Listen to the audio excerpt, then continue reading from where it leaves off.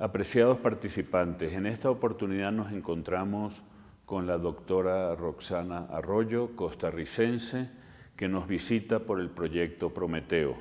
Ella es doctora en Derechos Humanos y está trabajando en nuestra institución, en el Instituto de Altos Estudios Nacionales, tanto en la Escuela de Constitucionalismo como en la de Relaciones Internacionales.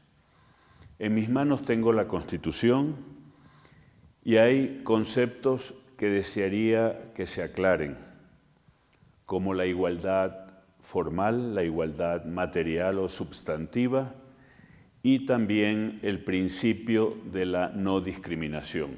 Roxana, desearía que nos aclares un poco con más detalle estos conceptos. Gracias.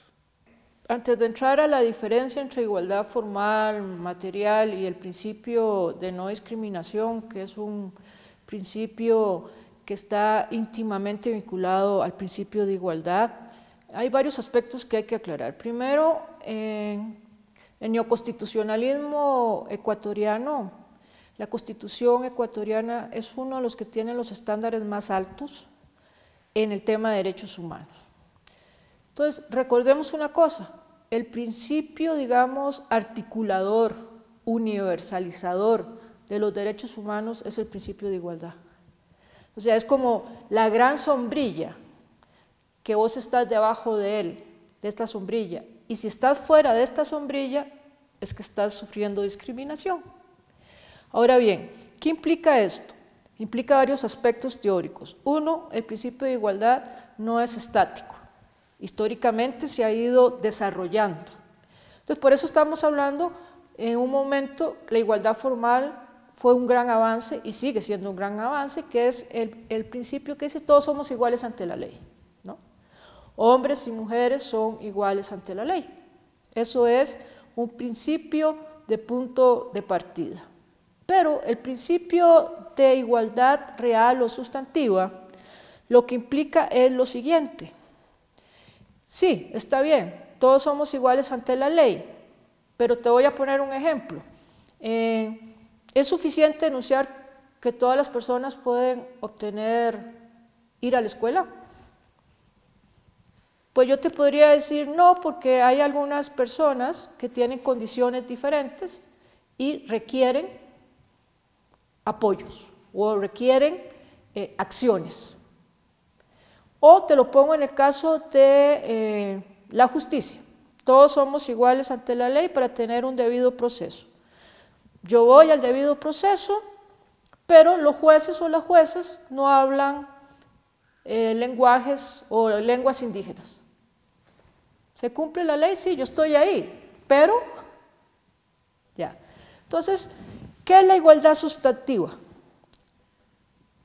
Lograr que las personas adquieran las condiciones materiales para tener acceso a la justicia. Eso es. ¿Y qué implica la igualdad sustantiva? Podríamos decir que complementa la igualdad formal, pero implica que reconocer una realidad en la sociedad, que el punto de partida de los seres humanos no es el mismo. Eso es lo que implica. Y que ese punto de partida, que muchas veces no es el mismo, que la Constitución lo va a enunciar como prohibición de discriminación por diversas causas, por razón de sexo, por razón de género, por razón de discapacidad, por razón de ideología, por razón de creencia religiosa, por, o sea, lo que se llama las condiciones o, sospechas, criterios sospechosos de discriminación en la legislación o en la constitución ecuatoriana es uno de los más variados que hay. Entonces, ¿qué implica?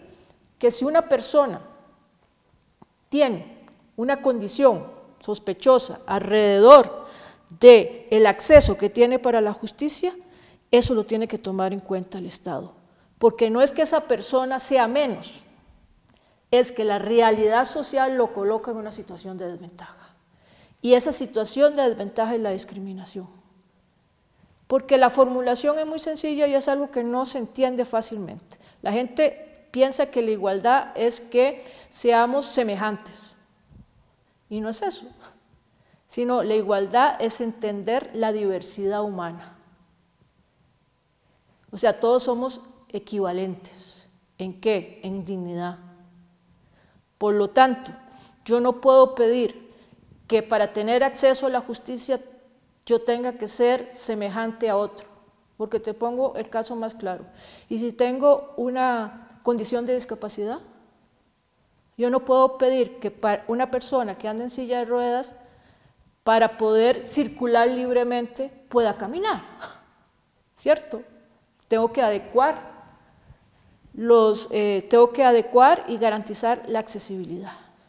Entonces, en pocas palabras te podría decir, la igualdad ante la ley es la igualdad formal, ¿sí? Esa es la igualdad que es importantísima, pero no es suficiente, porque en muchos casos se requiere generar las condiciones para que se dé la igualdad sustantiva.